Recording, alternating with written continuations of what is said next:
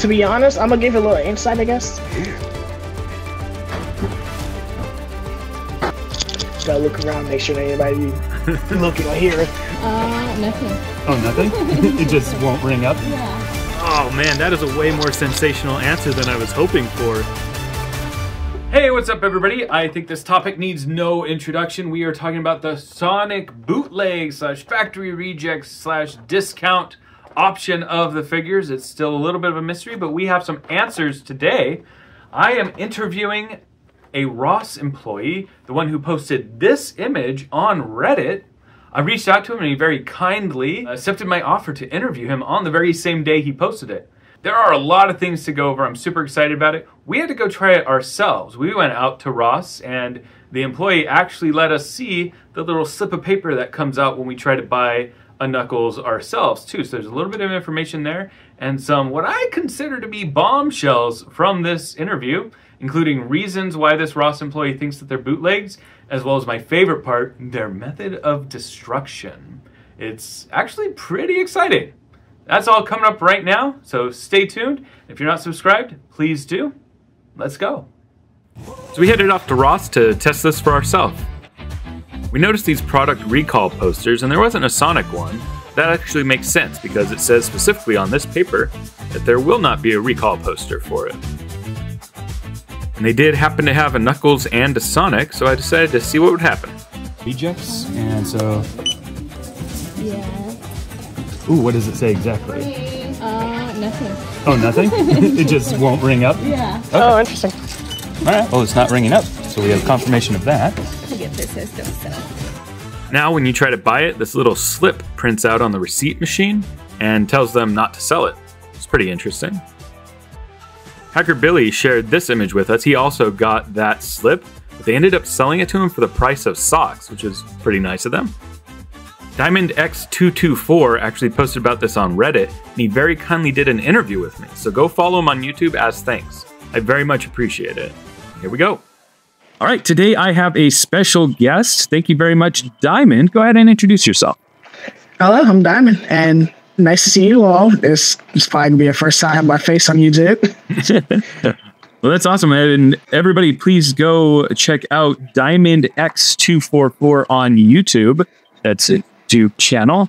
And also on Reddit, you posted a picture of the paper that says to destroy these bootlegs or factory rejects or whatever they are. Uh, why don't you go ahead and tell us a little bit about that? For one, when I just walked into work today, I saw it. I was actually kind of surprised because we had like a bunch of Knuckles action figures, like everywhere around the um, whole toy aisle, which is very junky, by the way. Kind of disappointing. But we usually have like a bunch of Sonic toys in, but as soon as I saw that it was mainly Knuckles and Sonic with a, surf- with skateboard or surfboard, I can't tell which one was Sonic Riders or not split second. But Wait, I'm sorry. There was a Sonic just- Riders one? I don't know if it was Sonic Riders because it had his surfboard with him, and that's the only Sonic I know that has a um surfboard. You know, oh, either skateboard. I couldn't tell. Oh, skateboard. Yeah, that's right. The one that says Sonic on it, right? yeah, I was kind of confused. Yeah, I've seen that one. I don't. I don't know. A lot of people know the waves of these figures, like off the top of their head. Uh, I don't necessarily know myself, but uh, yeah, I've seen those stories definitely. Well, then again, we always get like you know the same old stuff from Sonic, such as the um little the scenes of him and Jet racing on the um hoverboards and stuff. The little cars, which are kind of poorly made, but you know they're pullback cars, Yeah. and just all Sonic related stuff, even like clocks and stuff. So yeah, Oh, Sonic clocks? Sonic. Huh. Yeah, I don't think I've seen any of the clocks in store, but I'm also not really looking for them. When I go, I'm always looking for the figures. So we have some questions from both myself and a few of our viewers that we're going to go through. The first is uh, since we're all exposed to Sonic merch in this community, I imagine we're all biased to thinking that more people than probably is happening in reality are looking for these figures. But that being said, my conversations with Ross employees, one of them actually mentioned that I'm not the first to ask about these. So my question is, uh, have you seen a lot of people coming in looking for these Sonic figures? surprisingly no. I am really surprised because that's like a lot of people who actually come to my job, not scouting, but specifically looking for certain figures of different properties like Star Wars and Transformers, but never Sonic. Oh, really? I know why. Like, whenever people ask for certain things, I'm like, depending on what you're asking for, because I'm kind of a Funko collector, like, kinda. I collect the glow in the dark ones, really, in some cases. But whenever people like asking about like certain properties, I'm like, I feel like you're a scalper. I'm gonna help you out with one, but don't try to scalp out a toy. Don't try to take the whole supply. too. Yeah, it's Yeah, kind of absolutely. annoying to deal with from time to time. Yeah. This question comes from YBZ. Uh, do you know about when did these? Uh, I'm just going to call them bootlegs. I, I'm not convinced they're bootlegs, but just quickness of saying it. I'm going to call them bootlegs. When did they start coming in? When they start coming in, eh? Well, to be honest, I don't know. Probably like a week ago. It will make sense because you know I'm seeing them, yeah, more commonly now. But you know, not so common anymore because everybody you know knows bootleg, and we've picked up on it surprisingly. Yeah, totally. I, I think my store started getting them about a month ago because I put a video out maybe three or four weeks ago where we were searching around for them and trying to find them. And if you haven't watched that video yet, go watch it after this. Uh, I've searched the upper half of my state and the next state over for the figures. All of them have Sonic, followed by Knuckles, Silver, and then Amy in that order of availability. Uh, have you Really? been seeing all four in yours? No. Surprisingly, no. Just mainly either Sonic, Knuckles, and possibly Silver. Like Silver's kind of a rare one to find because you know it just it's all random. Really, it's like looking to a toy box. You don't know what you pick up. Yeah. It, it almost seems very similar to the regular distribution of Jakks products, where you find mostly Sonic and then a couple of the next one, and then one that's just really hard to find. Uh, as a fan of Sonic, I imagine you may notice with more frequency when these products move through the stores. You ever get good finds for yourself? Well, yeah, I kind of do. For example, I got this little metal Sonic on my desk, which I love to death. I love metal Sonic. Ooh, awesome. I still love Sonic, but I've been trying to look for like the Neo um, metal Sonic because I hear this rare apparently. Well, according to TikTok, and that's TikTok. Yeah. I haven't, you know, known Neo Sonic that well, so yeah, seeing him looks very cool. My local Rosses mentioned they get deliveries every day except Sunday. I'm curious about how the Sonic figures arrive, how many come in the box, logos on the box, things like that. Can you speak to that? I can and I cannot because I'm usually the person that's putting the stuff on the shelves. Uh-huh. But sometimes I help my coworker take out the stuff, and sometimes they come inside the box like Jakks Pacific with you know very nice, um, not handwriting, but like you know barcode army looking stuff up there. Oh, Like, yeah. I thought it'd be more childish, like Nerf does it. Oh, gotcha. It's very corporate, like uh, shipping, whatever management they use. Yeah, it's kind of fairly boring. I thought it did something really nice for it, but sometimes it's come loose, like Oh, really not in bad shape, but you know, just loose enough to like, yeah, I, I guess I'll get it. It's a consolation prize, I guess. Interesting. So, what do you mean by loose? You mean like they're like they're without any packaging? No, no, no, they still got the packaging around them. They're not inside the box that you think they come in. Yeah, I guess I'm saying, do you mean like the outer shipping box is not what you expect? There you go. Thank you. Thank you. That's what I was trying to say. This is kind of related, but Hoovaloo asks, does their stock come all together or for each wave do they send separate packages? It's a grab bag. It can come mixed or all together. And it's really random. Like, I wish I could tell her to do it all together and make my life much easier. Uh, and now when you say mixed, do you mean it's mixed with other toys other than Sonic? Yep. Really? It's weird. Uh, do you happen to remember any specific types of toys that come in that package? Hmm. Let's see. Sometimes it is some kid toys, like really young toddler adolescent type toys, like a little controller toy for a little toddlers, that little code thing up there. Sorry, Uh-huh. rambling off right there about that little toy. It's really cool. Interesting. but yeah, it just sometimes come randomly, sometimes come all by itself. It just, you know, depends on how distribution center is feeling, I guess, because they're lazy. I ain't gonna lie, they're lazy. yeah, that, that was actually, again, you've anticipated another one of my questions is, do these come from a specific Ross truck? Like it's from a Ross warehouse, a distribution center? that you mentioned?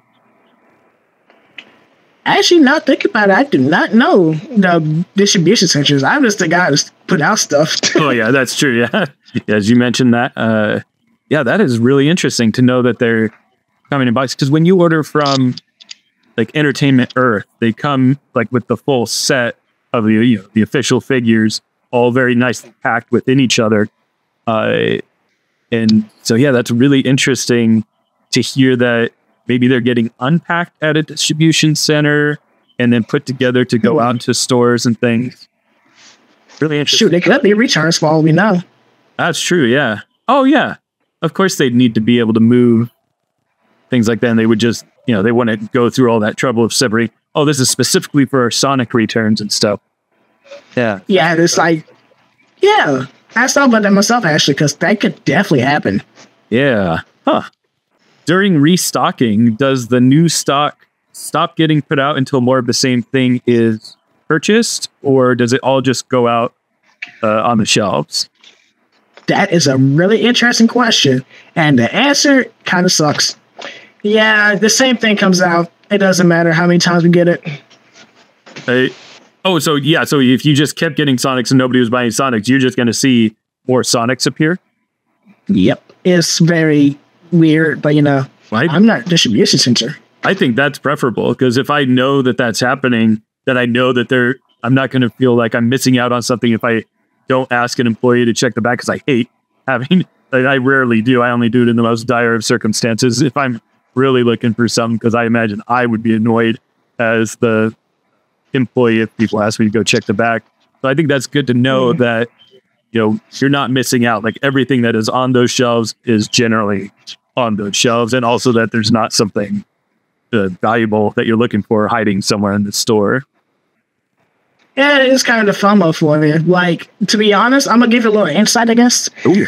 It just depends when you call. If you call straight up in the morning when the store opens, Uh-uh. you're gonna be uh-huh. kind of I ain't gonna say it always gonna be groggy because some people come early to start, you know, running around the stores and stuff. So if you call, you might be lucky enough for them, you know, already having their basket to return back to the stock room. So, mm, you know, Okay. if you call later on in the afternoon, probably like 12 o'clock y'all time, since it's like slightly early in the afternoon, yeah, they probably have it for you. Just, you know, all depends on the time. Okay. Excellent. That's great to know.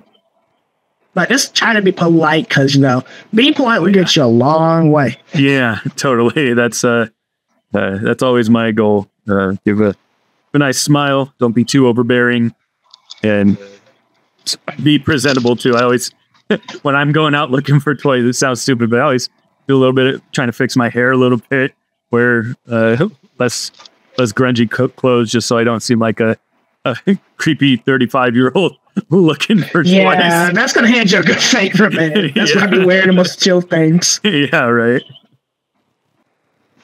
I noticed that the printout explaining to destroy the figures mentions that there will not be a recall notice on the sign near the front of the store. Have you found this to be common practice? Do you think the lack of customer facing notice means anything different than the usual recalls? No, not really. Like, we're still going to recall them, even if you do notice. For example, the baby shark toy that had the sharp end that was on the news. Well, not the sharp end, but the hardened end. I'm gonna have to look Like- that up. I'll, I'll put it on the screen right now. What what you're talking about? What what was this? It was Yeah, so basically on the news, we had these baby shark toys. Like most of the stores had like Walmart, Target. These baby shark toys had like a hard point that can definitely hurt the kid. And I was trying to look out. I was trying to look out for. it, I ain't gonna lie, because I was like, "Ooh, recall toys! I shouldn't have my hands on this. I should get it." yeah, it might become rare. For anybody who Exactly, that's I'm looking for wants that. oh, this is a fun one. Uh, what is the process of actually destroying these figures? Gotta look around, make sure anybody looking or hearing. So check this out. In the back, we have like this big fat Star Wars kind of destroyer. Like I don't know if you've seen Like like, Star Wars. you have compactor. the- There you go. Trash compactors. Yeah. It's mainly like operated by this big red button, the turning key, like a whole nuke silo type thing. But yeah, we just spin them in there and just crashing up and it's gone. Oh man, that is a way more sensational answer than I was hoping for. Do you, do Yeah, to you be honest. get your hands on one of the smashed ones? I know. It goes into like a little trash compactor outside. And Oh, really? Ah, Mm, I ain't digging in there.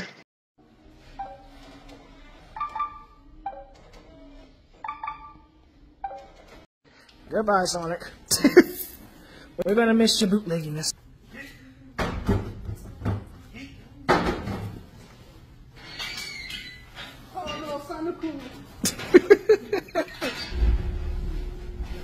It's the fact that daggone thing is that strong.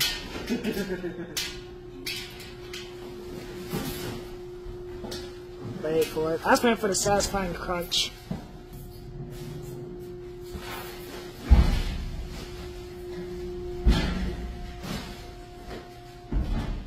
wow. I, I was thinking that it, it was just going to get like uh, shipped off to a place that does it, or uh, yeah. I mean, I guess I didn't know what to expect when I heard Destroying, but for actual trash compactor, that's awesome to hear about. Yeah, it's actually kind of scary to be around. I'm just, I just want to back away from it when I'm just throwing my trash over there. Yeah. I just toss it like, eh, just, just take it. I, I'm, yeah, I'm good. That's way cool, man. A lot of inventory in Ross seems like overstock of official products that simply didn't sell, or sometimes uh, damaged packaging. Whether these are factory rejects, bootlegs, or just lower tier official figures for discount stores, they're obviously unique and different. Have you noticed any other things for sale that seem to have an alternate version of a of the product? And let me expand on that. Uh, like you know, you know about these bootlegs. They they got some paint on the arms. They're uh, different shiny plastic, different color plastic, and things like that. That's what I mean. Is see anything like a Pokemon toy that you notice usually notice is that's quality, but then hey, this is the same thing that I've seen, but looks different. I think that's need to ask with that question. And this is why I hate skipping past those toys because no, I wish I noticed and looked harder. But I'm pretty sure it's a paint defense because the one, the knuckles I sent a picture of, Uh-huh. flash out on the screen. Yeah, Uh, so the mouth was looking kind of wonky, like yeah, like it was not looking on model. No. I had no knuckles. yeah. so the last question is just kind of an open-ended question. It's what are your personal thoughts on the origin of these figures? Some people think they're bootlegs, some people think factory rejects. What is your personal opinion on them?